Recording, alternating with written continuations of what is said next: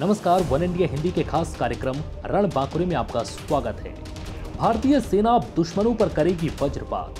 चीन और पाकिस्तान ने की कोई हरकत तो बरपेगा कहर, क्योंकि भारतीय सेना के पास दुश्मनों का नाश करने के लिए आ गया है वज्र। जी हाँ हम बात कर रहे हैं के नाइन वज्र टैंक। की भारतीय सेना के प्रमुख जनरल मनोज मुकुंद नरवणे ने गुजरात में के नाइन वज्र का सौवा टैंक रिसीव किया। मेक इन इंडिया के तहत बने इस टैंक से भारतीय थल सेना की ताकत कई गुना बढ़ जाएगी।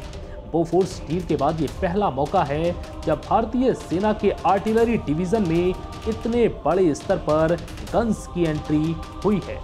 के नाइन वज्र को मैदानी और रेगिस्तानी इलाकों में इस्तेमाल किया जाएगा। भारत इन्हें पाकिस्तान से सटी अपनी पश्चिमी सीमा पर तैनात करेगा।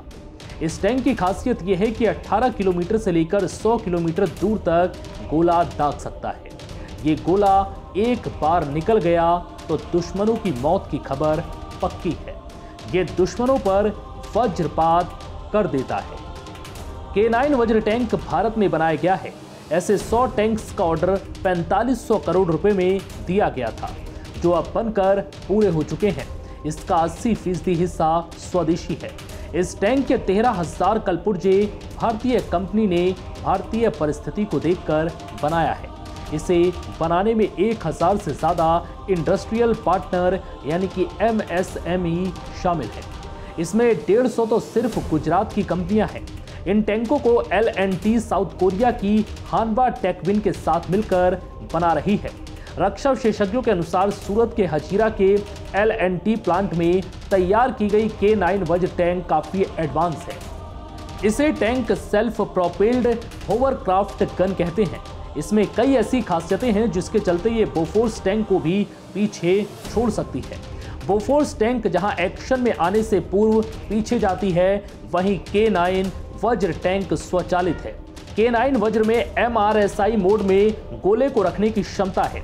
जिसे मल्टीपल राउंड्स मल्टीनेशनल इफेक्ट्स भी कहा जाता है।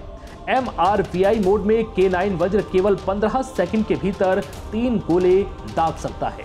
इस टैंक का भारतीय सेना में शामिल होने के बाद मेक इन इंडिया और आत्मनिर्भर भारत जैसे सरकार की योजना को भी काफ़ी बल मिला है।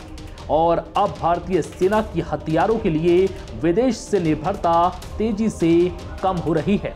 क्योंकि अब वज्र भीम, अर्जुन और हॉविजर जैसे घातक तोप का निर्माण भारत अपने ही देश में कर रहा है। फ़िलहाल इस वीडियो में इतना ही। नमस्कार।